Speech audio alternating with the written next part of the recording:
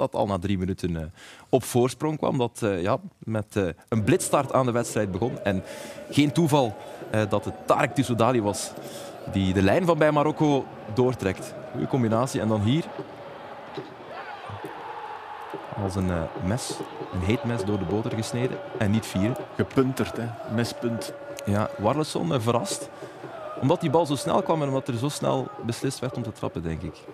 Op een eh, onnatuurlijke manier. Dat is een zaalvoetbal. Maar vooral mooi Goal, dat hij het niet viert. Dus dat Ja. hij het besef heeft van, oké, dit is allemaal net gebeurd. Ja, ja, ja. En toch? Maar het was ook en, echt eh, wel- En, eh, en ja, dat is, ja, vind ik echt... eh, Maar het was knap dat hij, als je een doelpunt Ja. maakt, dan is namelijk de eerste emotie is vreugde. En hij beseft dat dus. dus Maar hij is sociaal intelligent. Ja. Tissoudali. Hij is, hij- die voelt dat. Ja, dat is eh, een slimme Ja, speler. Eh, de 1-1 volgt dan heel erg snel. En het is geen toeval dat het weer op, op stilstaande fase komt. Nee, ja, we trainen er heel veel op. Ja, En ja. ja. ja, zeker analyseren goed de tegenstanders van hoe ze staan in bepaalde situaties. En ja, dat doen we altijd wel goed. En Mhm. we hebben ook wel sterke jongens van achter die eh, vol voor het kopduel gaan. En Ja. nu zag je dat ook weer met Popovic, Ja. die dan eh, verlengde naar de tweede paal. Dus dat stond ook juist op het goede moment. Ja, en je hebt iemand ja, die ze ook wel perfect kan leggen. Ja, dat, ja. dat helpt ook wel met, met jouw favoriet, eh Filip Ja, Hotic. ja, ik vind geweldig iemand die. Dat, dat levert je punten op. Hotic, Mhm. eh, ik, vind, ik vind een geweldige speler. Op, jij, jij zegt Kuifje en ik zei nee, Jerome. Het is, het is, is- de kruis. Ja, toch? Ja, toch? Ja, Ja, ja. Hij heeft een geweldig bal. En hij heeft de passie. Weet je? Het, is, het, is, het is iemand die. Want jij zweepte de eerste keer het publiek op. Bij, bij die corner rechts, dacht ik.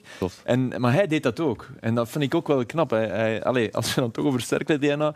Hij, hij zit echt wel in die ploeg, denk ik. Hè? Want hij is misschien wel puur voetballend een beetje de vedette, maar met Maton. Maar zo gedraagt hij zich niet. Nee, totaal niet. zegt iemand. eh, Ook op de dagen vrij hij soms een berichtje van gaan we nog eh, wat extra doen. Van, Amai, cool. Eh, en ook ja, het is ja, een van de, van de cirkeljongens. Want zoals Filip ook zei, ja, DNA zit wel echt in hem. Want ja, voor als buitenlander eh voor het cirkel-DNA te dragen, niet altijd eh, even Ja. simpel.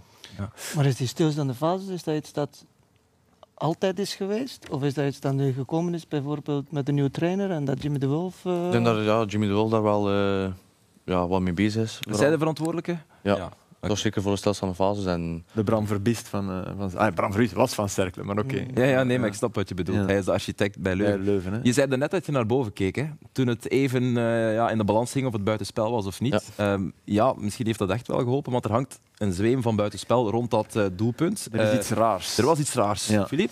Ja, eh, dus je hebt Hotic met zijn geweldige techniek. Ze nemen over bij Agent, wat op zich niet slecht is, want anders was er een blok. En dan is de vraag, staat Thibaut daar buitenspel of niet? Zeer moeilijk te zien op dit beeld. Ehm, maar er kwam geen beter beeld. Want ehm, het enige beeld dat we nog kregen was dan dit. Wij hebben zelf de lijn getrokken, maar heel moeilijk om te kalibreren. Dus op dit beeld lijkt je een voet buitenspel te staan, maar dan kan je geen eet opsferen, moeten we er echt wel bij zeggen. Maar dit is zoals onze computers en beeldverwerkingstoestanden dit, eh, dit zien. Ja. Maar de camera waarmee je dit normaal ziet, is die eh, op de 16 meter. Ja. Daar was een camera op de 16 meter, alleen was er geen cameraman op het moment. Ja, En ik weet waar, het, omdat waar. ik zat daar en ik heb die man eh, puffend van het zweet naar boven zien komen, buiten adem, tijdens de wedstrijd. En ik heb hem nog geholpen. Om, omdat hij had, eh cameramensen hebben heel vaak zware broeken aan om, om alles te kunnen wegsteken van batterijen. Die praktische broeken. Ja, Ja. En hij, Videobanden. ja, ja, en hij kreeg, hij kreeg, Nee, maar hij kreeg zijn knieën niet. niet dus hij, hij moest eerst zijn broek optrekken, dan hebben wij hem omhoog en dan ging hij, echt waar. Ik, ik lieg niet. En, maar dat was na, na dit doelpunt. En dat is natuurlijk, ik, ik vermoed dat hij door het eerbetoon aan Miguel van Damme beneden nodig was. Ja. Hè, Ja, meer dan in een gewone wedstrijd. Trouwens, dat eerbetoon was goed af voor hoe Cercle dat deed. Maar Ja. los daarvan. En ja, dat heeft dus wel een, een enorme invloed. Want eh, dan heeft het heeft lang geduurd. Hè. Het was, ja, het was heel het lang. was en dan, denk ik toen twee minuten en een half. Van oei. Want ik zag ook de scheidsrechter een klein stapje naar achter doen. Ja. En dan van ja, Maar, maar de VAR kon het niet beslissen. En wat, wat daar vooral een probleem aan is, is dat je dan, als, er, als de VAR eh, defect is, als er een, een, een probleem is met de VAR, een mechanisch defect zeg maar, dan krijgen de mensen in het stadion dat te horen en dan weet de ref dat. En dan Ja. weet de lijnrechter dat. Ja. Nu zegt niemand dat, want er is geen mechanisch probleem. Er is een humaan of organisato- organisatorisch De camera probleem. werkt. De camera werkt. Maar ja. Dus Hij bewoog alleen niet. Nee, ja, nee. hij stond, ja. was niet dus die, die, die, die man die uiteindelijk komt, en ik wil hem zeker geen steen werpen, want hij heeft zich gehaast, dat, dat zag je echt. Ja, ehm, de lijnrechter op dit moment bij, bij corners kijken die ook meer, want ze hebben de VAR als, als, als dekking. Die kijken meer, is de bal over de lijn of niet, zonder doellijntechnologie. Dus die man heeft die, en die vlaggen ook veel minder snel Ja. dan vroeger, want die denken, oké, liever dat dan overroeld worden. Dus je moet het eigenlijk wel weten als lijnrechter. Mhm. Wij hebben vijf, zes minuten zonder, eh, zeven denk ik, zonder VAR, camera, gespeeld naar de kant van Cercle. En, En ze hadden de pech dat er juist een en eh, Thibaut heeft iets te grote voeten denk ik. Maar ja, dus dat is, dat is eigenlijk kan dat niet. Hè. Dat, dat is, Nee. nee, we kunnen er nu om lachen, maar dat is.